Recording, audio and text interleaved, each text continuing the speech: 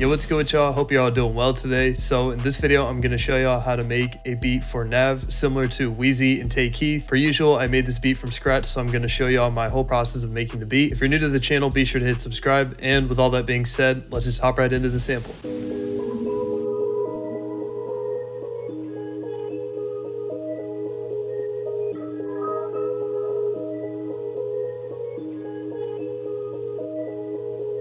So the first thing I want to talk about is the tempo. The one I chose was 148 beats per minute. The beats that Wheezy ended up doing on the album were a little bit faster in tempo. I think those were between like 150 and 180 beats per minute, but I think one of them was probably closer to like 140 or 150. And I believe Never Sleep was around like the 150 ish, 160 range. I decided to go for something that was a little bit slower just so it fit the drum bounce that I had in mind. So for my first melody sound, I went into Analog Lab into the Black Hole Bank and I got this Plug Rhodes E-piano preset and I put in this pretty straightforward melody. It's using the C minor scale and it's only just four notes for this melody, which is the first, second, third, and fifth notes in the scale. And I just kind of arranged them like this, where I started on the fifth note, which is G, and then just moved my way up the scale. And also, I only really made the first measure of the pattern, and then I just copied it over for the remaining seven measures.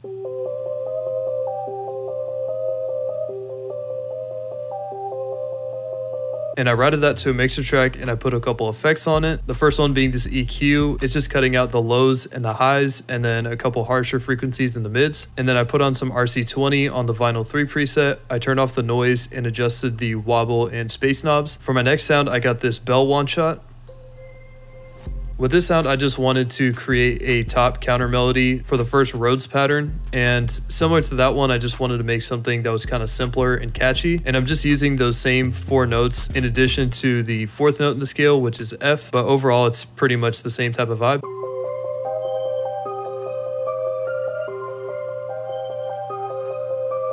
For effects on the bell, I just put on some RC20 on the Lush and Crunch Guitar 2 preset. So that's all I had for sounds in the MIDI. As for the rest of the sounds, it's just a few accents that I ended up putting in. I believe all of these accents and maybe even the bell sound were from Max Shooter's Sound Source kit. If you want to use the same or similar sounds, that's where I got it from. So the first accent that I ended up putting in was hitting on the first beat of the first measure, and it sounds like this.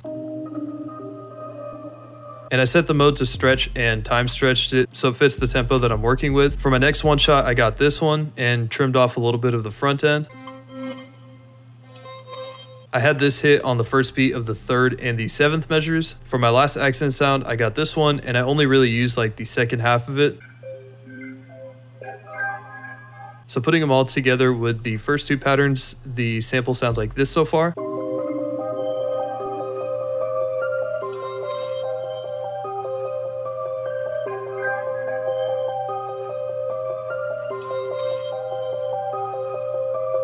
After that, I routed each of those sounds to their own individual mixer track and I armed each of them by highlighting this red button right here and then hitting Alt R on my keyboard and then hitting start in this menu to render out each of the stems as audio clips. And I've gotten a lot of comments asking why I do that. I primarily do it to save CPU space and also to prevent the sounds from bleeding into each other after each 8 bar loop. So then after I did that, I took the audio clip stems and I put them into a new arrangement. I went up to the playlist and arrangement up here and then hit add one. And in the new arrangement, arranged each of those stems to kind of form the final loop. And one of the changes that I made is I set each of the audio clips to stretch and I pitched it up by 100 cents, except for the second bell melody, I pitched that down by 1100 cents, which is just an octave down from the rest of them. And then I took the first Rhodes pattern, I duplicated it over and made it unique as sample. I changed this so that it was also pitched down by 1100 cents, so it's an octave down from this one. And then after I did that, I went to the mixer track and I put a few effects on the master track. The first effect is just a default fruity chorus with the mix level at about 30%. Next, I put in a frequency splitter and just cut out some of those higher frequencies. And then I put on some delay with these settings. And then I put on some halftime on the one half loop and the one and a half mode setting. This also changes the key of the sample. I think it pushes it down by five half steps. So the key of the sample before putting halftime on it was C sharp minor, which means that the final render of it is in G sharp minor. The chorus and the halftime are the main two things that give the sample that dark and mysterious type of vibe.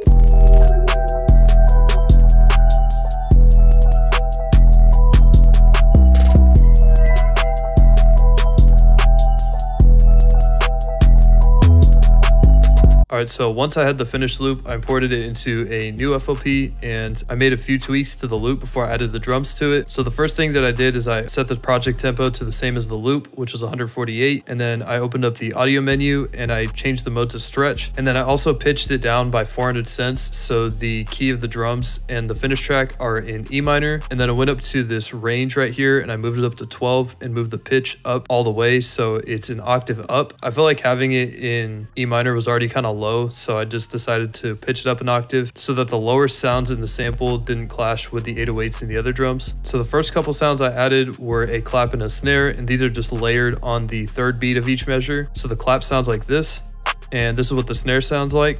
So layered together and just putting them in the typical clap spot, it sounds like this.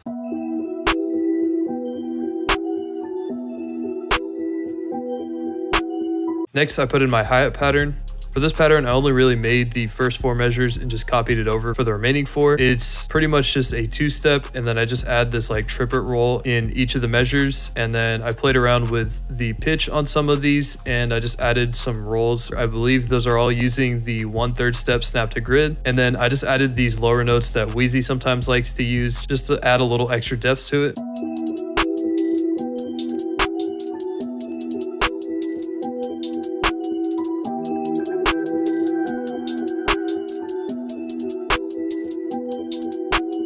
So after the hi-hat and the clap, I added my snare sound and I put in a pretty typical snare pattern and I put in a couple rolls just to add a little bit of variation to it. Overall, I tried to keep the snare pattern a little on the simpler side.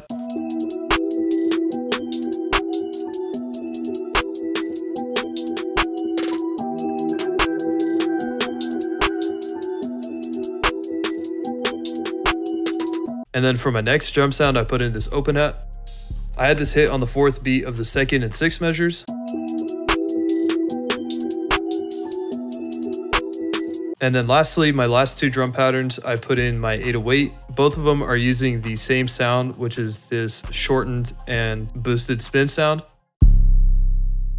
To make the 808 decay a little faster, I just turned the out knob a little bit, so it's about like 15 or 20%. Since there's already a lot going on with the melodics and the hi-hats, I didn't really want to do too much with these 808s, but I did add a little bit of variation to them so they're not all just the same note.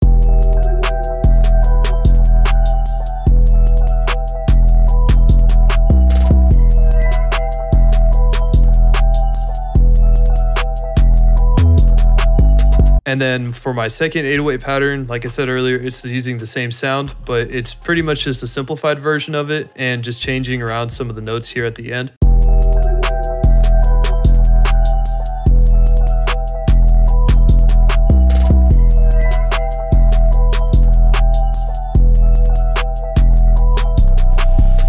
So that's going to do it for this one. I hope y'all enjoyed it and found it pretty helpful. Leave any thoughts or recommendations you have for me in the comments. And that's going to wrap it up for this one. So I'll see y'all next time. Peace.